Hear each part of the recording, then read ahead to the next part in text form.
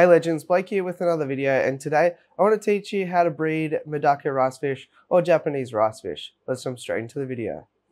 Okay, so first of all, credit where credit is due. This uh, particular method came from Dean's Fish Room via an article released by Aquarium Co-op.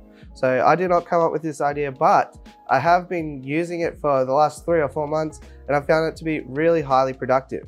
In the past, I was using just a normal acrylic spawning mop.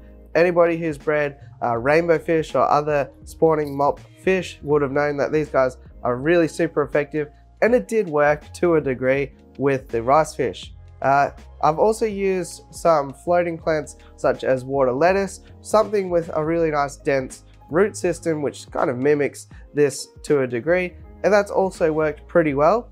However, this method that I'm going to show you today works far better. And uh, going through what Dean actually said, this has been used for ages in Japan. So if the Japanese are doing something to spawn Japanese rice fish, then that's probably a great place to start. Okay, so to build a spawning mop for rice fish, this is what you're gonna need. It's not crazy at all. You don't need any expertise, uh, specific tools, or anything that you would not find outside the normal sort of household. Uh, the first one here is a pool noodle. You can steal some of your kids' floaties if, if they've got one. Obviously they come quite a lot longer and just because I'm at a smaller desk, I don't want it to take up the whole frame. So I've cut off a section here. You're only gonna need about 2.5 centimeters or an inch. So you, you can easily just borrow someone's pool needle if you need to. Uh, if it has been used in the pool, probably give it a good old, good old rinse first, but I've got a brand new one here today. Next up, some scourer pads here. These are going to be found where the dishwashing liquid is in your supermarket. The cheaper the better because it's going to be less likely to have any mold inhibitors or other chemicals in it, which might be nasty for your fish. I've got some nice square ones here, which were about six for 99 cents, something like that. Next up, these kind of intertwine, but they're also optional if you only have one or the other. I like to use a razor blade for the pool noodle, and I like to use scissors for the scourer pad.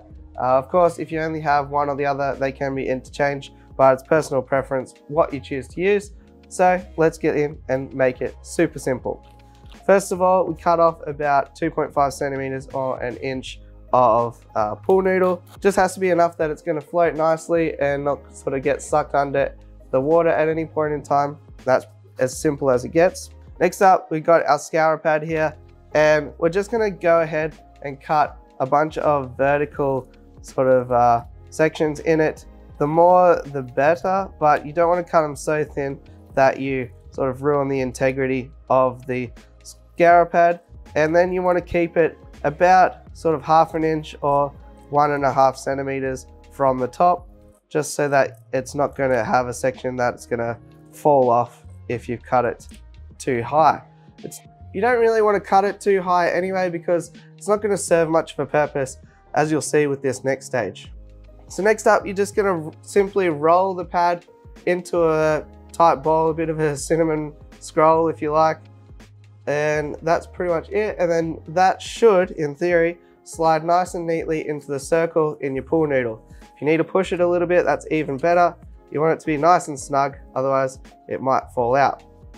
Now, if you are extra worried about it falling out, you can of course use a little dab of hot glue in the top there, or you could use a rubber band or something to eh, secure it a little bit extra. But for me, that's pretty much done. Then we just spread the legs out of this weird octopus creature, and that is how we make a Medaka rice fish spawning mop. Now, why is this more effective than a normal acrylic yarn spawning mop? Well, if you've ever seen Medaka rice fish, they actually carry their eggs externally and sort of wait for some roughage to actually remove them. They don't uh, go and deposit them somewhere, they just swim around and if things get sort of stripped away and stuck to plants, then that's kind of how they do it. So you want a surface like this that's gonna be a bit more rough, a bit more coarse, that's gonna actually sort of provide a bit more of an area for those eggs to be actively taken away from the uh, Medaka rice fish. So if you want longer sort of uh, octopus legs, you can absolutely cut them longwise this way. However, you're just probably not gonna have as thick of a uh, circle at the top, so you might then have to use some hot glue or some super glue to keep it in place. So let's head out to my pond now. We'll check out one of these in action and I'll show you what I do then to hatch out the babies. Okay, so here you can see some clips of my pond and luckily my Medaka rice fish mop here has yielded some eggs, so I'm really happy about that. Once you find eggs, there's really two methods that you could go ahead and, and put into place. The first is you can actively go through, pick out the eggs, place them into a container or a hatching tank and uh, hatch them out that way. Maybe use some methylene blue to make sure they fungus they don't fungus over. And you'll hatch out some Medaka ricefish super easy. Second is if you've gone ahead and you've bought a pack of six scourer pads and you have a length of pool noodle, you can easily make up half a dozen uh, uh, spawning mops and swap them in and out as you please. You can just take the whole spawning mop out, put it into a hatching tank, and it will float around, getting a bit of water circulation as well, which is never a bad thing when you're hatching eggs. And then you can just replace them as you go. And by the sixth day, you should find that your eggs have hatched and you can slot it, slot the first one back into the pond and keep cycling through like that. And you'll have a pond or fish tank absolutely uh, bursting with such an underrated fish as the Medaka rice fish. So there you go guys, hopefully you like this little DIY video. It's been a while since I've done one, so if you do like it, it always helps me out to smash like, hit subscribe and all that fun stuff.